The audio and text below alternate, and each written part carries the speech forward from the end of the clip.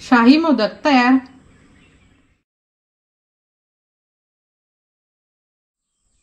नमस्कार मी कृष्णाई गजने आपल्या चॅनलमध्ये तुमच्या सगळ्यांचं मनापासून स्वागत करते.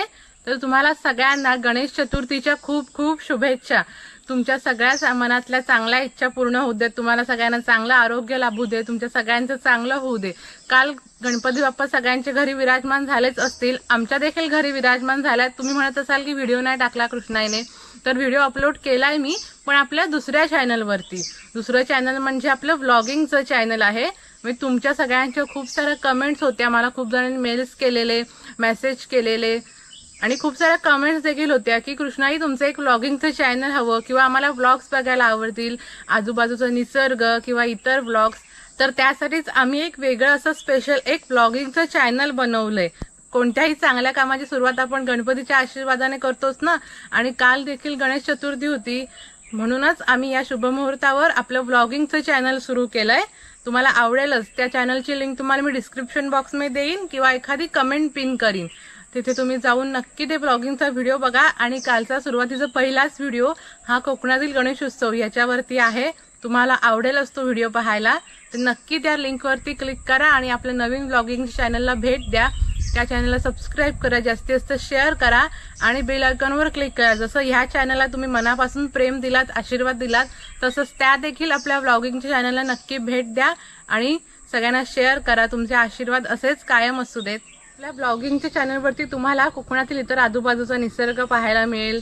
कधीतरी डेली व्लॉग्स पाहायला मिळतील. आमची कोकणातील लोकांचे राहणीमान पाहायला मिळेल. असे वेगवेगळे विषयाचे प्रकार तुम्हाला पाहायला मिळतील. नक्कीच आवडेल तुम्हाला. म्हणजे कसं माहिती आम्ही वेगळं का काढलं? कारण रेसिपी इथे कंटिन्यू चालू राहायलाच पाहिजेत. या रेसिपीच्या चॅनलवरती त्याच्यात कोणताही व्यत्यय येणार नाही. आणि इतर व्लॉग जे असतील ते आपल्या व्लॉगिंगच्या चॅनलवरती तुम्ही तिकडे पहा तुम्हाला आवडतीलच. पण त्याआधी त्या चॅनलला नक्की भेट द्या आणि सबस्क्राईब करा आणि जास्तीत जास्त शेअर करा. आणि त्याचबरोबर गणपती सजावट स्पर्धा पण आपण ठेवलेली आहे. गणेश चतुर्थी विशेष सगळ्यांना आवडतं ना डेकोरेशन करायला. तर त्याच संदर्भात ही एक स्पर्धा आहे. तर काय करायचंय? तुम्हाला डिटेल माहिती त्या चॅनलवरती मिळेलच. त्या चॅनलची लिंक तुम्हाला डिस्क्रिप्शन बॉक्समध्ये किंवा कमेंट एखादी पिन केली आहे तिथे तुम्हाला त्या स्पर्धेची डिटेल माहिती मिळेलच. तर स्पर्धा अशी आहे की गणपती डेकोरेशन स्पर्धा आहे. तुम्हाला मला एक तुम्ही जर डेकोरेशन बनवलं असेल त्याचा मला एक जास्तीत जास्त तीन मिनिटाचा व्हिडिओ बनवून पाठवायचा आहे. तो व्हिडिओ आपल्या दुसऱ्या चॅनलवरती म्हणजे ब्लॉगिंगच्या चॅनलवरती आपण प्रसिद्ध करू. ज्या व्हिडिओला जास्तीत जास्त व्ह्यूज असतील असे आपण तीन क्रमांक काढणार आहोत. एक दोन आणि तीन. एकूण तीन बक्षीस आहेत. पहिलं बक्षीस आहे तीन हजार पाचशे एक्कावन्न प्लस गिफ्ट पाऊच दुसरं बक्षीस असं आहे की दोन हजार पाचशे एक्कावन्न प्लस गिफ्ट पाऊच आणि तिसरं बक्षीस असं आहे की एक हजार पाचशे एक्कावन्न आणि गिफ्ट पाऊच अशी एक छोटीशी आपली स्पर्धा आहे. आमच्या निमित्त तुम्हाला सगळ्यांना गणेश चतुर्थीची भेट पण होईल आणि आपली स्पर्धा पण होईल. अशी एक छानशी स्पर्धा आहे. तुम्ही नक्की या स्पर्धेत भाग घ्या. तर आजची रेसिपी आहे शाही मोदक. आता गणपती बाप्पा सगळ्यांच्या घरी विराजमान झालेच असतील. उकडीचे मोदक बनवला असेल तुम्ही काल. तळणीचे पण बनवाल. पण त्याचबरोबर तुम्हाला मी पान मोदक पण दाखवले आहेत गुलाब मोदक दाखवलाय. त्याचाच आणखीन मोदकाचा नवीन प्रकार म्हणजे शाही मोदक. तुम्हाला आवडेल असती रेसिपी तर आता आपण आजच्या रेसिपीला सुरुवात करूया. त्यासाठी लागणारं साहित्य बघा. इथे मी एक कप दूध घेतलंय. अर्धा कप कंडेन्स मिल्क घेतलंय. पाऊण कप साखर. अर्धा कप मिल्क पावडर दोन चमचे तूप एक छोटा चमचा वेलचीची पूड आणि रंग येण्यासाठी केसर मी एक चमचा दुधात असं भिजत ठेवलंय. म्हणजे छान असा रंग येईल. त्यानंतर तीन कप डेसिकेटेड कोकोनट म्हणजेच खोबऱ्याचा किस. इथे मी हे बघा काजू बदाम पिस्ता आणि मनुका. हे बघा काजू बदाम पिस्ते जसे ना बारीक बारीक तुकडे करून घेतले आहेत असे. आणि एक दोन चमचे असा कुलकंत घेतलाय. तीन कप खोबऱ्याचं किस असेल ना त्याच्या अर्धा आपल्याला दूध किंवा कंडेन्स मिल्क घ्यायचं. तुम्ही दीड कप कंडेन्स मिल्क घेतलात तरी पण चालेल किंवा एक कप दूध आणि अर्धा कप कंडेन्स मिल्क असं घेतलात तरी पण चालेल. किंवा तुम्हाला हे कंडेन्स मिल्क नाही वापरायचं असेल एखाद वेळेस घरात नसतं ना तर त्याच्याऐवजी पूर्ण तुम्ही दूध वापरायचं. हे नाही वापरला तरी पण चालेल तरी देखील मोदक अगदी चविष्ट होतात. एक कप दूध आणि अर्धा कप कंडेन्स मिल्क असं एकत्र करायचं. सगळं व्यवस्थित घ्यायचं बघा. आता गॅस पेटवूया. हे व्यवस्थित असं मिक्स करायचं बघा.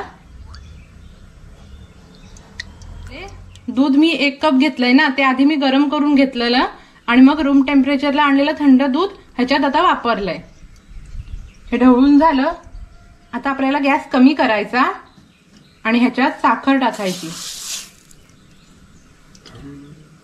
पाऊण कप साखर. साखर आता फक्त ही जरा आपल्याला वितळवून घ्यायची आहे गॅस कमी करून वितळवून घ्या. साखर बघा पूर्ण वितळली आहे आता आपल्याला ह्याच्यात मिल्क पावडर टाकायची आहे मिल्क पावडर नंतर दोन चमचे तूप घेतलंय ते वापरायचं. तुपान छान मऊ होतात हा मोदक. तूप जरा वापराच आणि वेलचीची पूड हे आता व्यवस्थित असं मिक्स करून घ्यायचं. हे करताना जरा गॅस कमीच करायचा. आणि असं मिक्स करून घ्यायचं. आता आपल्याला आपण जे तीन कप खोबऱ्याचा किस घेतलाय तो टाकायचा आत्ताच. आणि केसर जे दुधात मिक्स करून घेतलेलं ते पण टाकायचं. रंग छान येतो केसरने. आणि हे करताना गॅस कमीच करायचा. आणि हे असं व्यवस्थित मिक्स करून घ्यायचं आधी.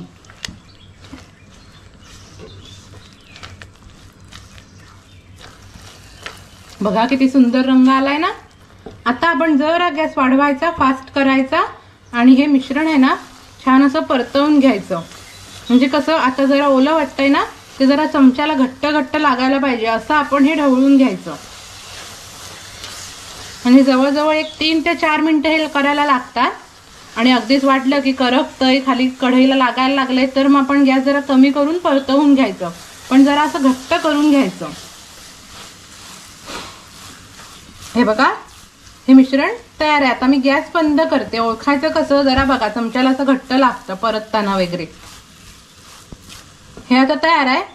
आता मी एका ताटलीत काढते आणि थंड करून घेते. आणि नंतर मग आपण याचे मोदक तयार करायचे. आता आपल्याला मोदकाच्या आतमध्ये आपण जे सारण भरणार आहोत ना ते बनवून घेऊया बघा.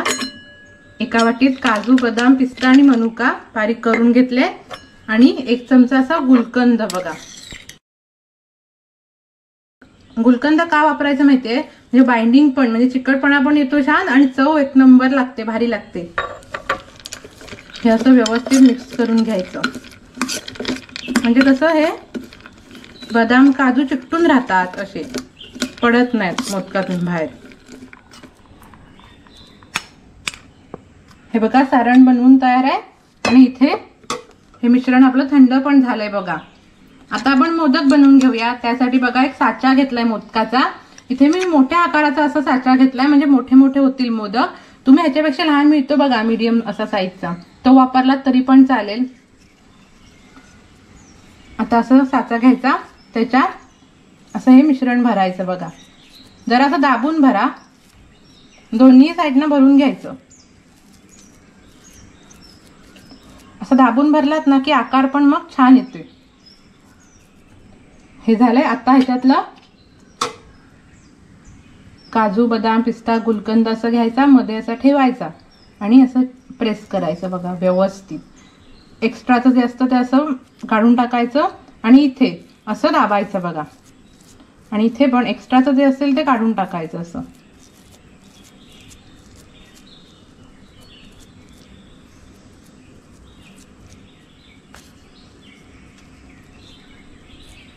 बघा मस्त असा मोदक तयार.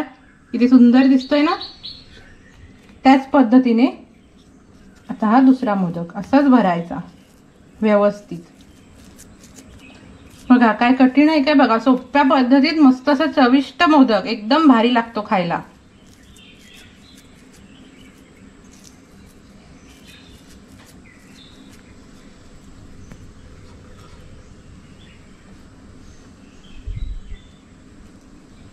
असा दाबायचा. एक्स्ट्राचं जे असेल ते असं काढून टाकायचं इथे पण. आणि असा परत दाबायचा.